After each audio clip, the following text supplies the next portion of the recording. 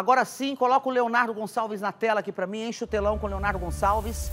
Assim que a gente conseguiu essa imagem, que é uma imagem exclusiva do Cidade Alerta Goiás, dessa mulher lançando ali a bomba, a gente já acionou o Leonardo Gonçalves porque ele trabalha em toda a região de Anápolis. E o que, que ele fez? Prestativo que é, proativo que é, foi para casa da família. O que, que você encontrou aí, Léo? Pois é, ô Silvia, todo mundo por aqui está indignado com o que aconteceu. Imagina só, por volta de uma hora da manhã dessa madrugada, um carro estaciona bem aqui ao lado, Silvia. Uma mulher desce, uma jovem desce, com um artefato na mão, fica com isqueiro, acendendo, tentando acender o tempo todo. Tudo foi registrado por aquela câmera, por aquela câmera de segurança. A adolescente, a jovem, consegue acender a bomba para dentro. Por muito pouco, muito pouco mesmo, não acontece uma tragédia aqui nessa casa que fica em Anápolis. Sabe por quê? Alerta Goiás, aqui nesse quarto estavam dormindo mãe e filho. Uma criança de quase 4 anos de idade. Imagina o susto que a família levou, não é mesmo, Amanda? Como que foi essa situação? Igual falou, exatamente uma hora da manhã que a jogaram a bomba, né? Aqui dentro de casa. Aí de repente eu vi um clarão muito forte.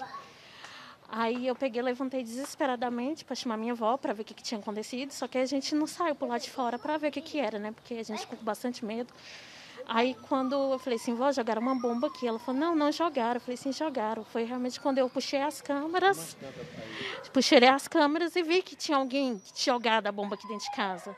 Só que aí eu vinha, levantei, vinha de madrugada ver que se a bomba estava por aqui, não estava. Aí hoje, exatamente hoje de manhã cedo, a minha avó levantou. Como a bomba explodiu, ela voltou para trás e caiu lá do outro lado Inclusive, da rua. Silvia, olha aqui um pedaço do artefato. Imagina se a janela estivesse aberta.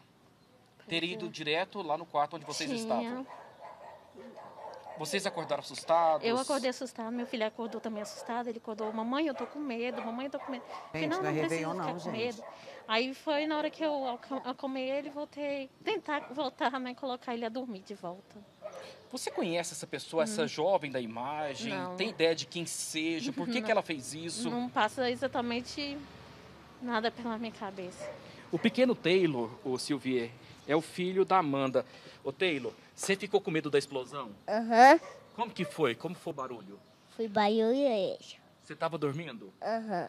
Acordou assustado? Aham. Assustou toda a vizinhança, aqui você, sua avó, o Foi. Taylor. Como que foi? Foi, é, assustou bastante, né, a gente, que a gente ficou com medo. Aí até eu demorei ainda para dormir, porque eu fiquei bastante com medo. Aí eu falei assim, nossa, aí.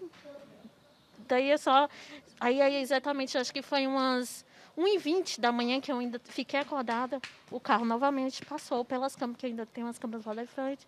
Novamente passou aqui pela Novamente, região. Olha, novamente. Silvia, o que chama atenção nesse caso é que recentemente aconteceu no interior de São Paulo um caso parecido que acabou fazendo uma criança vítima fatal, ou seja, uma criança morreu por causa de uma explosão de uma bomba. Nessa hora passou isso pela sua cabeça Foi. na hora da explosão e o carro voltando novamente, Isso, Amanda? até um momento atrás que eu tinha recebido essa informação, antes de acontecer isso, eu até falei assim para minha avó, falei assim, nossa, avó, eu tenho que deixar a janela do meu quarto fechada, porque a minha janela do meu quarto é direção para a rua.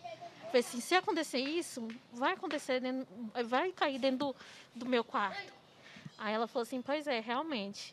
E, tipo assim, não passou nem uma semana praticamente que eu fechei minha boca e, Ô, e Léo. aconteceu isso. Você não tem noção de quem seja essa pessoa? Pois não, Não. Silvia? É, é, exatamente. Eu ia entrar nessa pergunta que você começa a fazer agora. pra- vamos dizer vítima, porque quer queira, quer não, gente, ela é uma vítima de, uma, de um ato criminoso. Que essa pessoa que jogou ali essa bomba fe- cometeu um ato criminoso. Mas eu te pergunto, é, é muito estranho, especialmente se tratando de uma mulher, um estranho uma pessoa arriscar ali uma bomba, acender, né? e jogar, arremessar. Se ela conseguiu reconhecer na fisionomia, ali no porte físico dessa mulher que arremessou a bomba, se ela conhece, tem alguma desavença com alguém, alguma coisa do tipo que possa, inclusive, servir a título para investigação da Polícia Civil?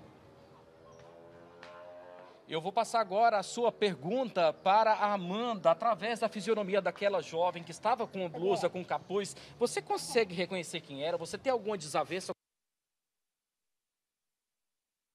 Nosso sinal travou ali, infelizmente, durante a entrevista. Nós estamos com aquela mochila de internet. Infelizmente, às vezes na internet o pessoal começa a acionar demais depois das seis da tarde. A gente conseguiu travar o sinal, mas é uma, é uma é, inclusive é a pergunta crucial. É, é, isso que a gente precisa ouvir dessa moça, da Amanda, se ela reconhece essa mulher pelo gesto que ela já balançou a cabeça, é como se não reconhecesse. O que estaria acontecendo? Será que uma pessoa louca, de um jeito aleatório, foi ali e arremessou a bomba? Oi, Léo, voltou, né, Léo? Pode falar.